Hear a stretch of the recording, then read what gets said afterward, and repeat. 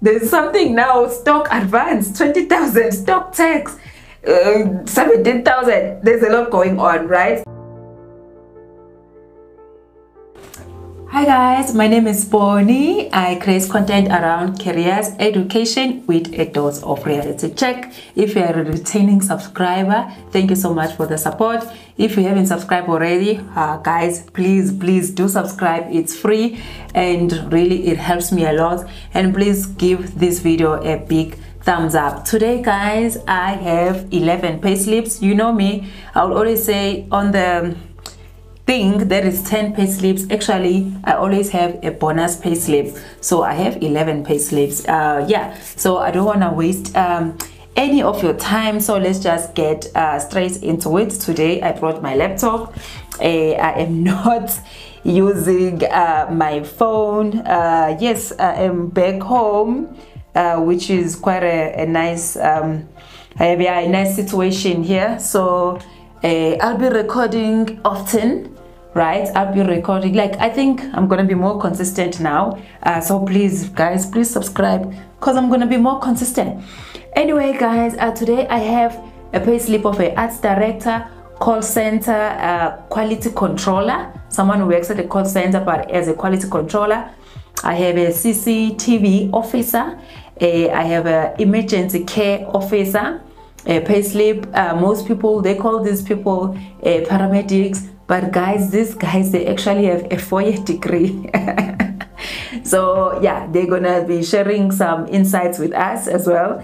And then i have a key account manager payslip a call center manager someone who's a manager at a call center a mechanical engineer that works in a renewable energy space a radiographer. Oh people have been asking for this over and over. And the mechanical engineer as well. Like people have been asking for it software developer i have a lot of software developer payslips guys. I think maybe i have 10 that i haven't shared you know? But i just love to feature them uh, in almost every other video because they they are in different levels. Like software development is is broad you know? They're in different levels. They work in, uh, in different industries. Well not industries but sector uh, so I love sharing software development. Oh gosh, chest, chest pains, chest pains. Solutions architect. Wow, this one. we went viral with this one on TikTok. Uh, we went viral with this one on TikTok, like over a million views uh, when I shared uh, solutions architect. And I have some info, like more detailed info on it, like what you need to do, right? Um, like in terms of going to school and stuff um, and then I have a supply chain uh, manager okay? So let's get straight into it guys. Um, we are going to start with a radiographer. Okay so let's see how much a radiographer earns. She's got three years experience. She works in the private sector. And she sent me two payslips one is of a locum um, yeah people in medical space they would know what that means. Um, yes i have a second chair here because i need to use a mouse pad. Um, yes so one is when she's a locum and the other one is when she's at her normal job.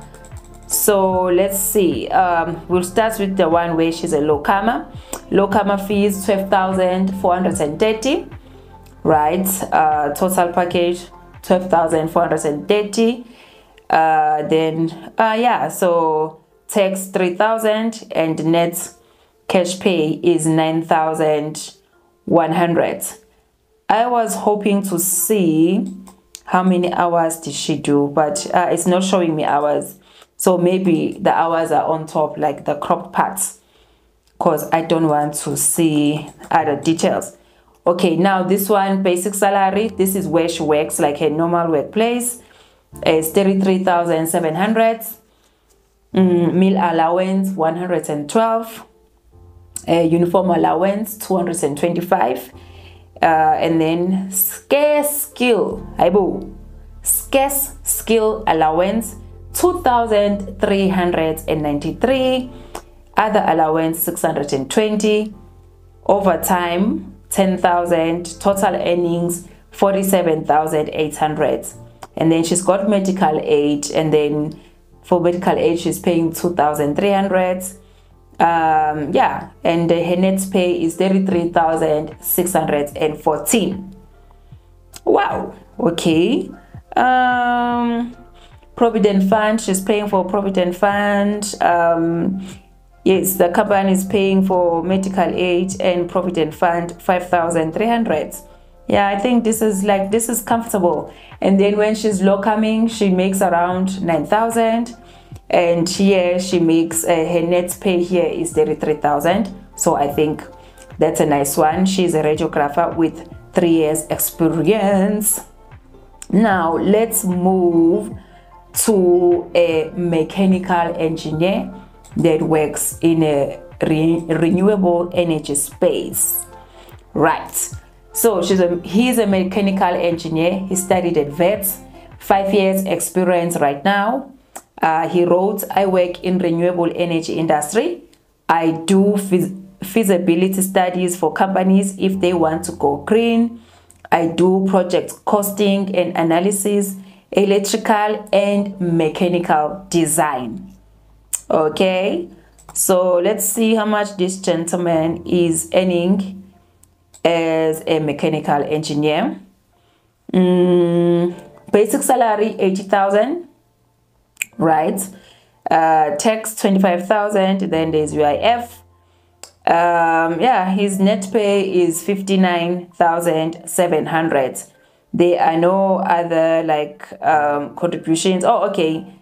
There is not pension fund but there is medical aid uh, contribution right um yeah so that's it guys. Net pay 59700 that's a pay slip of a mechanical engineer that's working in a renewable energy space.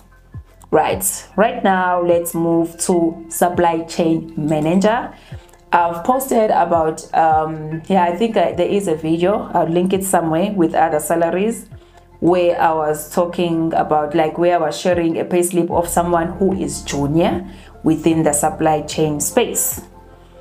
Mm, okay, so let's see. It says this is a payslip of a supply chain manager in a public sector, which means it's a state-owned entity. A 113 is the cost to company. She takes home 62,000 rands. Let's see. Um, let's see his salary.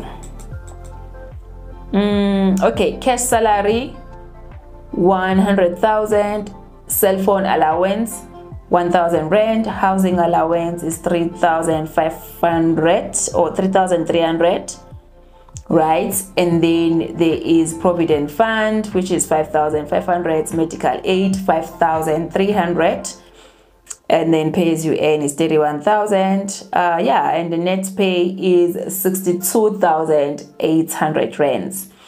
Guys, I'm not to be mentioning cents and stuff. Guys, please like this video um, and let me know what other professions would you like me to cover on this channel, okay?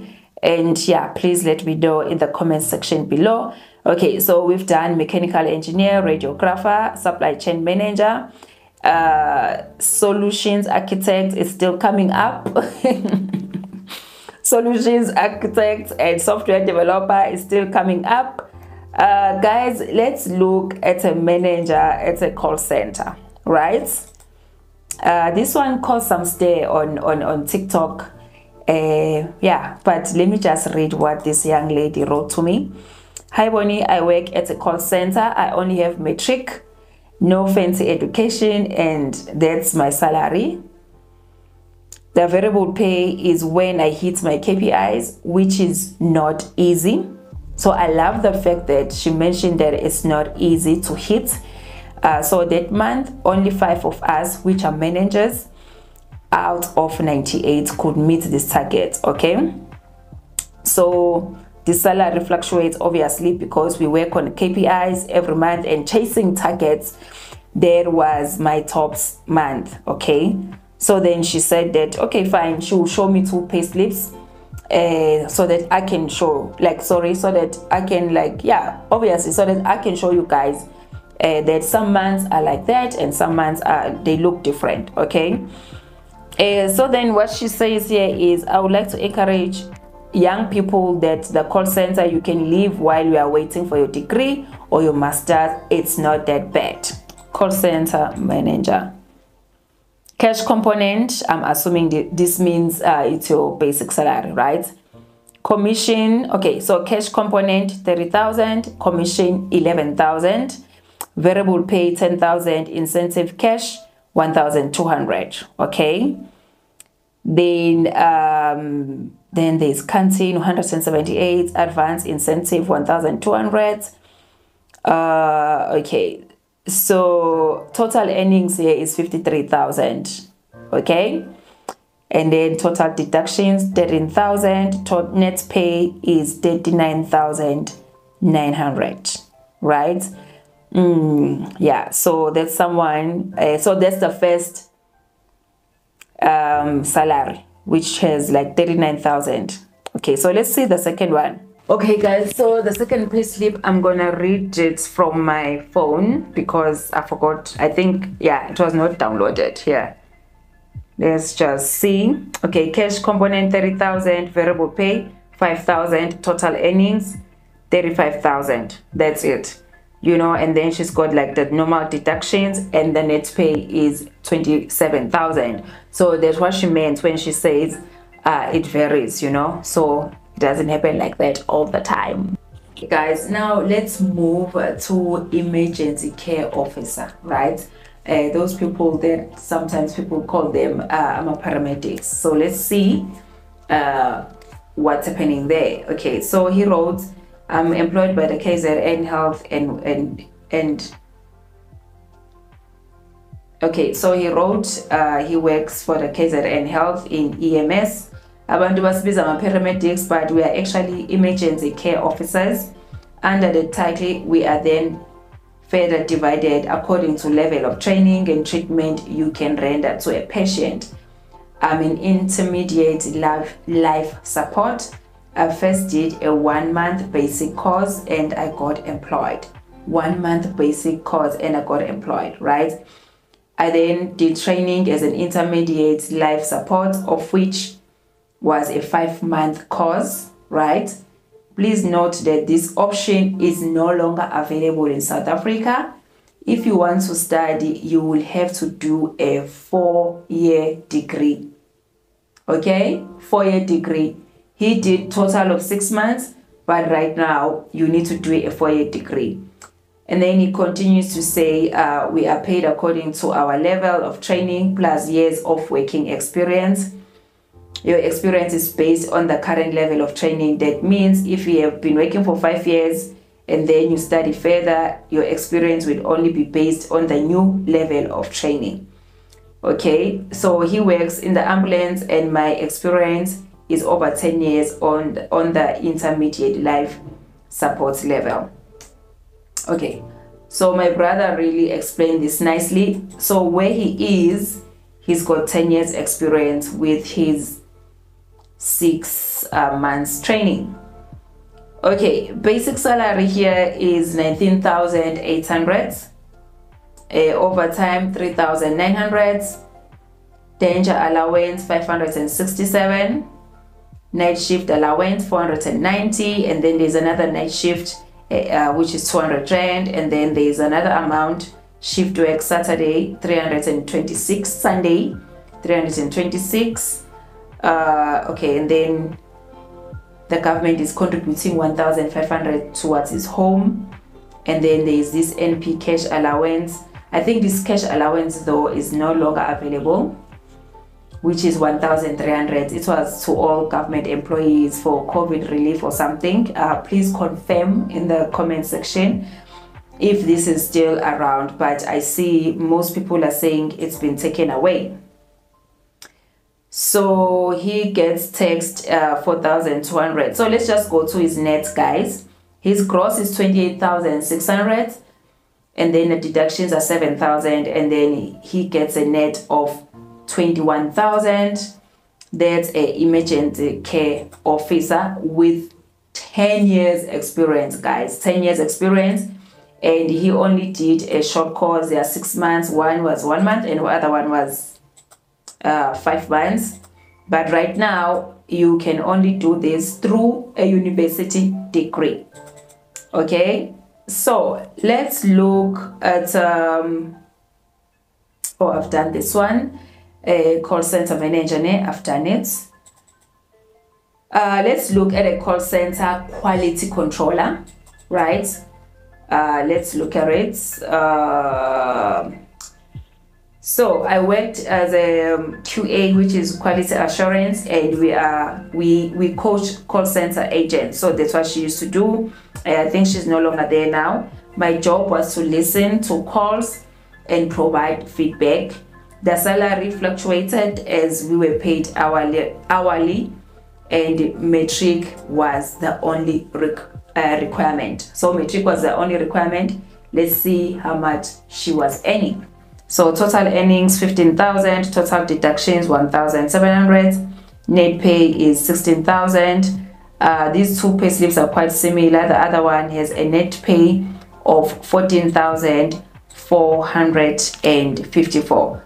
So it's quite um, it's quite similar. Okay, uh, guys, please, please, please consider subscribing if you haven't already. Um, yes, and please like this video. It does help me a lot uh, with creating this content for you and yeah guys just let me know what other payslips would you like me uh, to see I do read comments uh, and respond and take action uh, yes I do read and respond. I know quite a few people have been asking me about stuff in agriculture. I am looking at it okay? Um, so key account manager she has a, a master's degree. You don't really need it. A diploma will do. And then i have eight years experience in a specific industry right? Mm, the only thing i didn't get from this person is um, which industry right? But i'll go back to our chat on instagram. You might find that they mentioned it uh, before this you know?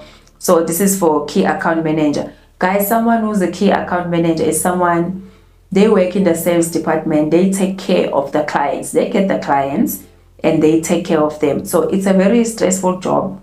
I'm telling you it's not it's not for everyone. It's not for the faint-hearted and all the complaints that the clients have they bring them to you so you are the middle person between the client and uh, the company okay so cash salary 48000 travel allowance 7000 commission 76000 right? Um, then there's medical aid 4,000, uh, pay as you earn 43,000, and the net pay is 83,000, right? Mm, yeah, guys. Uh, oh, as you can see, there's a travel allowance, guys, because you travel to see clients here, yeah, so a travel allowance is 7,000 already. Uh, so a total cost like, to company is 60,000 and then uh, with all the there's provident fund there's life cover income protector funeral uh, yay guys travel allowance provident fund life, yay yay but the net pay this month was 83,000 and as I've mentioned guys this is a sales job so it means uh, that's how much she made on that particular month some months might be different okay so some months might be different um, now let's move to solutions architect. Uh, this one I it caused chest pains on on TikTok. Uh, solutions architect. Uh, this young gentleman. Um, he's I don't know if he's young, yeah, but just say young gentleman. He's got an honors degree in computer science and mathematics, and has 16 years experience. Right. So that's the first thing you must note. 16 years experience and has an honors degree in com, in com science okay um, then he mentioned here one thing you should be aware of is that stock option is mostly offered by the big american companies like your google microsoft amazon etc it's rare with south african companies okay so what does a solutions architect do so he mentioned he, he writes here so I didn't take this explanation from Google. You know your girl does not roll like that. Everything I'm sent by real people and these payslips are real. Disclaimer, people send them to me for educational and awareness purposes, okay? Uh, so solutions role, uh, solutions architect's role is to look uh, look at uh, to look at uh, business problems and design computer systems or applications that can address that particular problem. They look at tech stack, scalability, cost, reliability, resilience, and usability. So that's what they do as solutions architects, guys. Akudlalwa izindlu la. You you're not playing house here.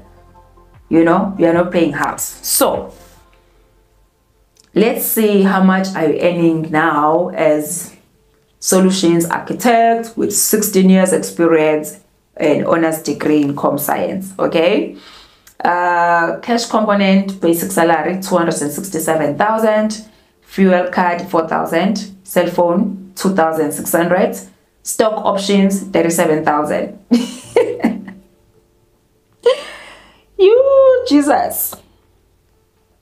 Total earnings 300000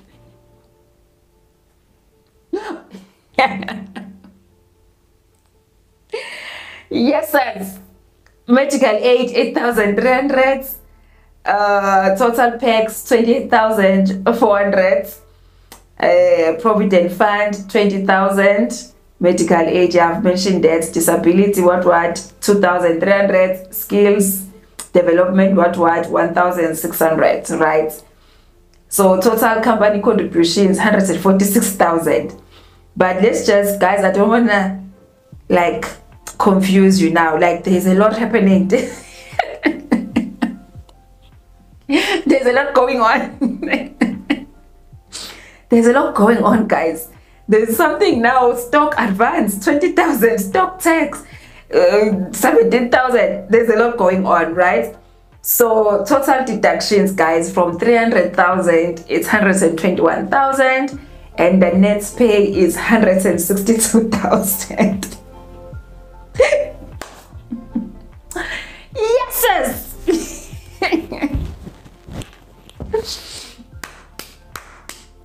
Total deductions 121,000 and the net is 162,000.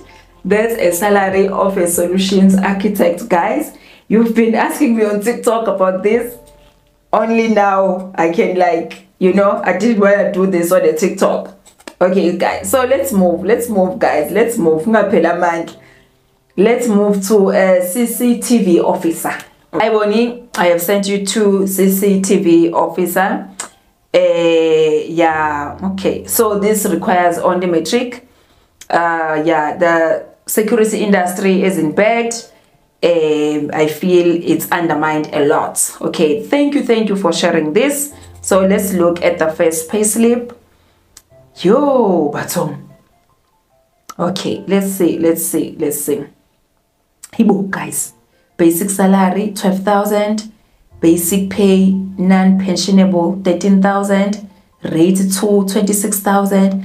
Company contribution, 5,000. Housing allowance, 6,300 overtime rates 26,000 uh, okay. There's a lot going on. There's a shift allowance. Uh, there's a lot going on guys. So let's just go to uh, Elon name. Let's just go to total earnings right? So that I don't confuse you. So CCTV officer total earnings 50,000 and 700 rand Total deductions 14,900. Take home 35,700 and you only need matric. Right? Let's see the other one. The other one is quite similar.